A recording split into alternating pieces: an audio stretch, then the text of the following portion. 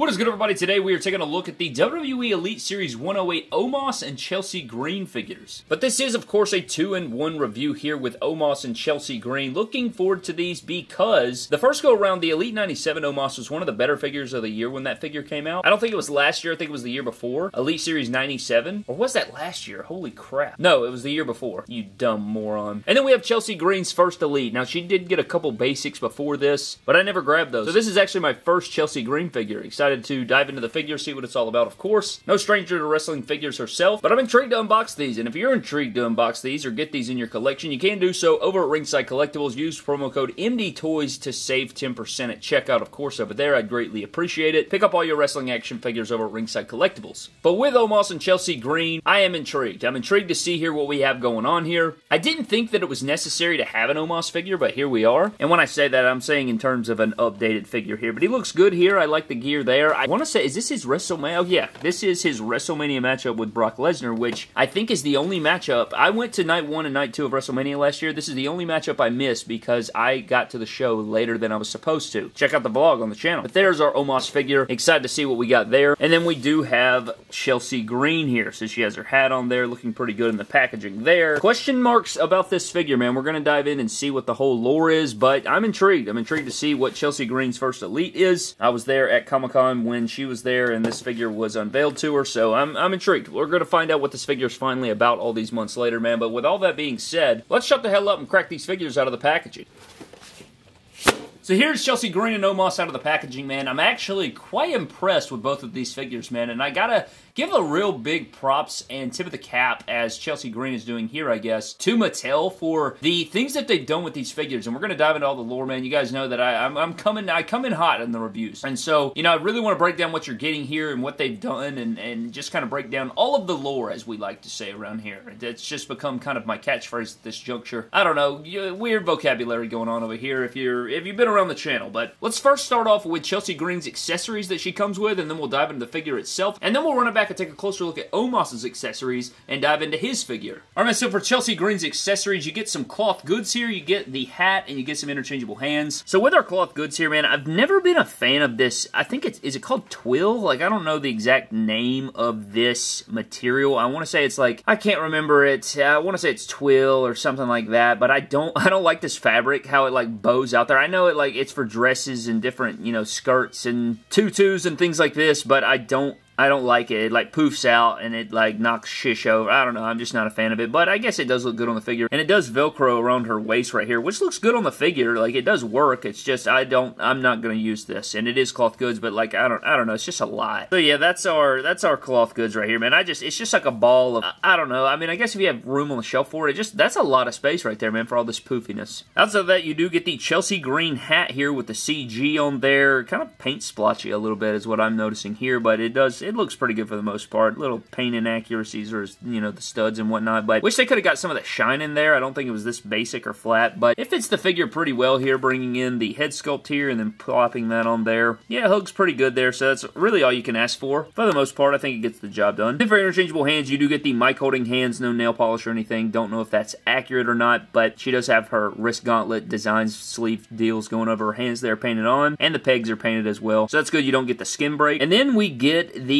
Elite 94 Stephanie McMahon hands. I think that's what these are. She's got like the bendy finger here, but I want to say the Stephanie McMahon fingers were longer. I'm not entirely sure. I don't have those figures in hand here, but she's got the same designs on there, but she does have shush or the sh on her finger there. I don't know if that's actually tattooed on her or not. I want to say doesn't Rihanna or something like that have that? I'm not entirely sure, but she does have longer fingernails on there as they are sculpted. I do believe this is the Elite 94 Stephanie McMahon hands, though, if I'm not mistaken, but she can do the, you know, the shush, tell you to, what you got, you guys guessed it, tell you to shut the hell up, or point at you and tell you to shut the hell up, or both. Look at that. She can point at you here and then put her finger up to her mouth and tell you to shut the hell up. So, I mean, she's, she's way ahead of herself. But again, no nail polish or anything, which again, I don't remember if that's accurate, but there's the interchangeable hands. Alright, so getting into Chelsea Green's head sculpt, I just don't really care for this, man. I, I think I see what they were going for, but I don't think it quite. Like, her eyes seem kind of dead, right? Like, it's not very lifelike. Like, I guess it favors her a little bit, but I guess it's trying to go for that shush face, or, you know, she's she's shushing or what have you, but I don't know, man. I think they could have done a lot better here. It's kind of a resting face, but I don't know. I, I don't know. I think her smiling head sculpt might have been a little bit better, but I do like some of the things it's got going on, but it kind of looks a little jaxy to me for whatever reason. But I like the, the, the hair sculpt is nice. I like the hair color there with the ombre. That's pretty good going on there. She does have the sculpted top on right here. Silver and blue looking pretty good there. Kind of a Concord grapish color, sort of. One thing about women's figures that typically kind of bothers me a little bit is there's no bicep. And I know women aren't out here, you know, there's not a ton of women out here with just gigantic biceps, but look how just flat, continuous it is. Even if it's, even if it's more real, like sometimes, I've talked about this before, sometimes you gotta make sacrifices or you have to design things that look better aesthetically, even if they're not the most 100% accurate. Her arm may look like this, resting down, but sometimes for sort of similar to like a Scott Steiner situation, it looks like his arms are flexed for the most part on his Elite 105 figure. I think they could do something here to design that bicep a little bit more and groove that out, but she does have the pinless arms. She's got the design sleeves going on on the back. She's got the off shoulder the one shoulder design there. Designs continuing all the way around. Her thighs are painted a shade darker than her stomach or her skin tone there to simulate the leggings or the nets or whatever the hell you want to say there. And then she does have these sculpted on knee pads here, which look really good. And they are pinless, of course. This is a brand new leg mold here. And the ultimate question is going to be, does she have boot cut? And I'm just so thankful to Jesus Christ in heaven that she actually does have boot swivel. Looking at this figure, I was very worried, man, because this lower leg is essentially the entire lower leg as a boot. I was very afraid that they weren't going to give her any shin cut or boot cut, and that would have been upsetting. But I like the added detail of the, the laces missing up here. This is a lot of new sculpts going on here on this figure, man. One thing I am finding is my feet are a little bit loose, so that does kind of bother me there, but the boots look good and everything. But for this Chelsea Green figure, man, eh, a lot of Mattel head sculpts, because they're on a ball joint and not a ball hinge, you don't really get any head articulation, but you do get the diaphragm here. A little bit loose on mine, but not terrible. On this women's figure, a lot of women's figures struggle to get the shoulders all the way up and down, but hers does not. You get the full bicep rotation and swivel, double jointed arm, which is very clean. She feels buttery smooth, can do the splits, can kick forward well. She is on ball joints, of course. Upper thigh cut, double jointed knee, which isn't as stiff as other pinless joints that we see typically, but looking pretty good here, man. I actually am enjoying how the figure feels in hand. I'm quite impressed with the figure, man. I think Mattel did a really good job on the execution of this figure. It's really, the only thing I'm lacking really in this figure is the head sculpt, and then the boots are a little bit loose here, like falling forward like John Cena, but let's get into some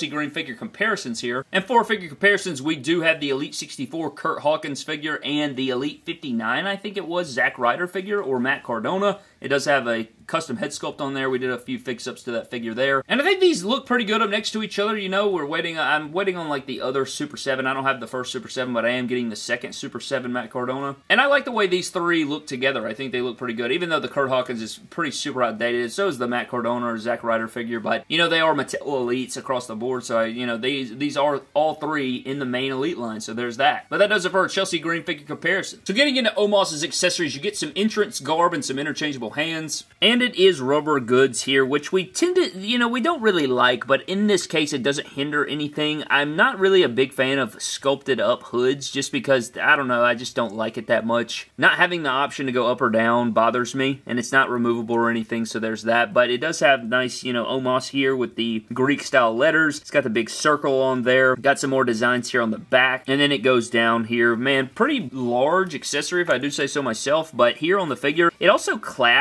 which I don't think you necessarily need because you can just, you know, slide it on like that. And so there's, you know, there's that. But when you put the arms up here, it will come unclasped a little bit here, but I don't really mind it that much. You know, I don't, I, I don't know. I just don't hate it. I think it's okay. It's serviceable. I don't think it's egregious. And it, you know, it looks like what he wore. So I, I really don't have a, you know, I don't have skin in the game there. I think it's okay. Outside of that, for interchangeable hands, this is something I don't like. I really wish they'd give him larger hands. You know, guys like this or Brock Lesnar Braun Strowman, guys like that, Andre the Giant, right? You need bigger hands, man. You're going to tell me Omos's hands are the same size as Seth Rollins or Finn Balor or somebody like that? It's just not accurate. So I would like to see a new hand mold for guys like Omos and things like that. So they are typical, you know, just fisted hands there with the skin tone, but at least the white wrist tape does have the white peg, so you don't get that skin break, which is always nice to see. And of course, the fists are to beat the hell out of people. And then, of course, he does come with mic holding hands that make the world go round, and again, he does have white pegs with the skin tone there. These are very clean. Good job there, except for the little schmutz right there.